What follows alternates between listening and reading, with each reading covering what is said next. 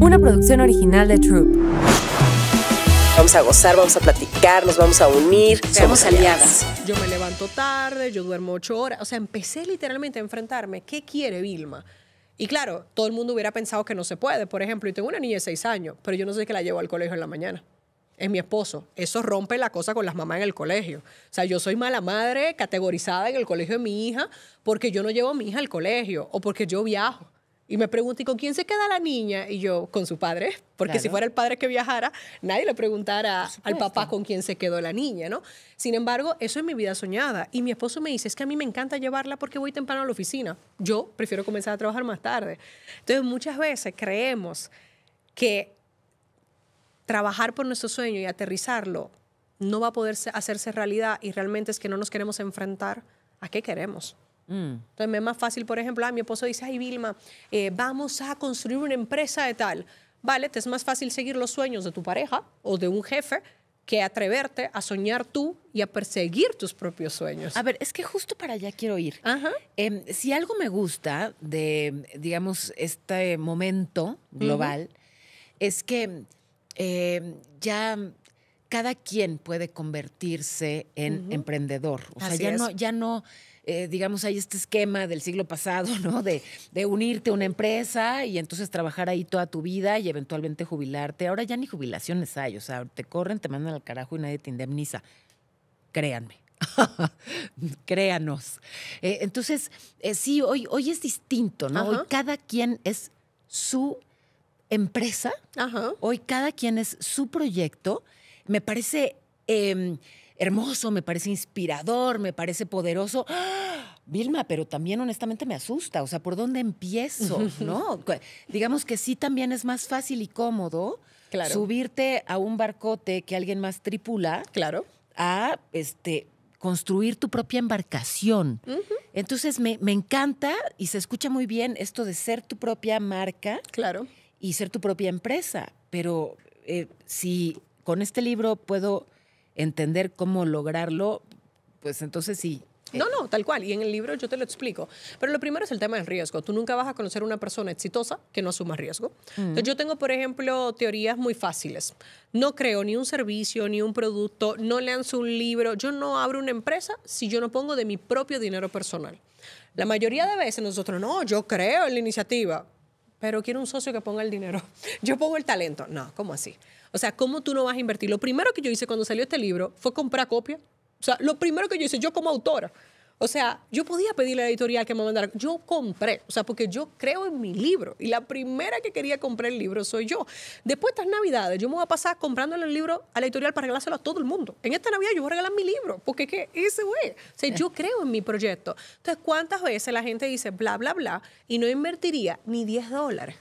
de su dinero propio. Entonces es el primer filtro para saber si de verdad tú quieres esto. Sí. Y tienes que entender que sin riesgo no hay conversión. O sea, esa es la realidad. Tenemos que poco a poco aumentar el riesgo. Y número dos también es de verdad, nos vemos con esto a corto, medio, largo plazo. No todos los negocios, no todo lo que vendemos tiene que ser a largo plazo, pero tú tienes que tenerlo claro. Entonces yo, por ejemplo, sé que hay empresas que cuando mi hija sea mayor, que herede, no van a existir. Yo lo tengo claro, porque hay, em, las empresas nacen para ser vendidas o para morir. Sí.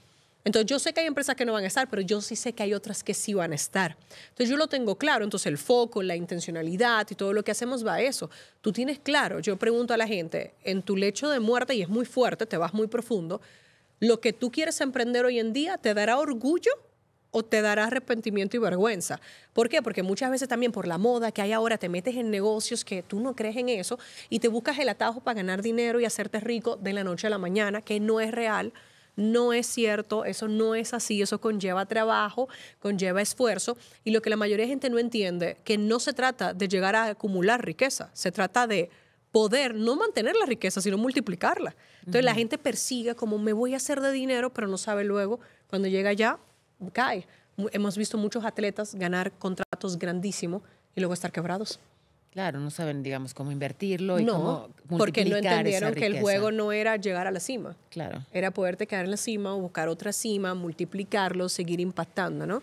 Pero veo que, que eh, planteas de entrada el conocerte. Sí, ¿no? O sea, que, ¿qué quiero que sea esta marca personal? ¿A dónde la quiero llevar? Bueno, tengo que empezar por volver para adentro y qué me interesa, Así es. ¿no? Quién soy, qué me gusta y además qué me sale bien, ¿no? También mis capacidades y talentos. Ahí es- hablamos también del Ikigai, que es una de las fórmulas más importantes de, de propósito. Sí. Yo cuando comencé a emprender, mi propósito era hacer la educación asequible, ¿vale? Y gratuita. O sea, ¿por qué? Porque yo sé que hay muchas personas que su mentalidad o su bolsillo no le permite pagar por formación. Sí. Entonces nosotros nos empezamos a distinguir por hacer formaciones gratuitas que podrían perfectamente venderse. Y fue un valor diferencial de nosotros. Y durante un tiempo, esa era la misión y el propósito de Vilma. Llega un momento en que yo digo, no, o sea, yo luché mucho para llegar a tenerlo todo de verdad, a tener este balance, esta vida donde yo me siento feliz, que mi felicidad es no negociable. Y yo tuve que cambiar mi propósito. Entonces yo le invito a todas las personas también que si tú comienzas con un propósito y ya se te quedó pequeño, que sueñe más grande. Claro, recalcular. Exacto. Entonces mi propósito hoy es ayudar a otra persona a que vivan su propia definición de éxito, que es personal y profesional. Yo no lo separo. Entonces, pero eso fue por entrar en ese viaje de autoconocimiento. Por ejemplo, ¿qué es lo que yo más disfruto? Siempre hay una frase, ¿qué harías sin que te pagaran? Ya, pues yo la reformulo, ¿vale? Eh, ¿Qué yo hago felizmente, aun cuando todavía no ha llegado el cheque que me van a pagar? Pero yo trabajo una mentalidad de abundancia y digo, ¿por qué yo no sería merecedora de que me paguen? Claro. Porque una cosa es que yo quiera donar mi talento y ponerlo para una causa social. Otra cosa es que yo deje que se aprovechen de que estoy quizá en mis inicios, mi vulnerabilidad. Entonces yo siempre estoy pensando qué me hace feliz, o sea, qué yo disfruto. Entonces, por ejemplo, escribir libros a mí me encanta. Dar conferencias y viajar por todo el mundo a mí me encanta. Te juro que era mi sueño conocer el mundo. Y hoy me sale gratis porque encima me pagan. O sea, yo soy conferencista. Entonces, para que veas lo que el precio eh, que tú pagas antes, cuando tú dices quién yo soy, qué yo quiero, luego lo vas a conseguir en el futuro. El problema es que ni siquiera nos tomamos el tiempo de reflexionar. Claro. Que somos buenos, por qué no dan la gracia, que no da orgullo. No nos hacemos preguntas básicas. Vamos a gozar, vamos a platicar, nos vamos a unir. Seamos aliadas. Una producción original de Troop.